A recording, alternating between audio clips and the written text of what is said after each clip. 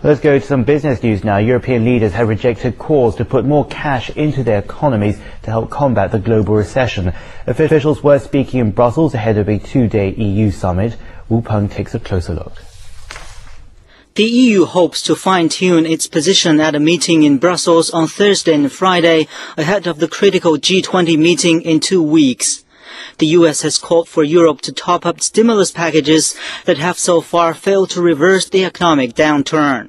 But the 27-nation bloc said it wants to see the effects of outlays agreed to last December. Citizens need now is not words, they need action. I've said it earlier. Not gesticulation, implementation.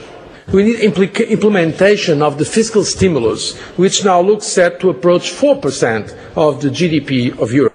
The European Commissioner for Industry maintained the EU line, saying there was no evidence that more money would solve the problem. We are not, we are not sure, uh, but uh, it would, would help just to inject more money uh, in, in the real economy, in particular, uh, as long uh, as we cannot be sure uh, that the financial crisis uh, is solved and that the banking sector uh, will function properly.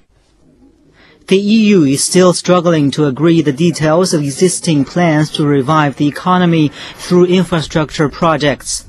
Continental European capitals are putting their faith in generous welfare states to ride out the worst of the storm. 吴鹏 C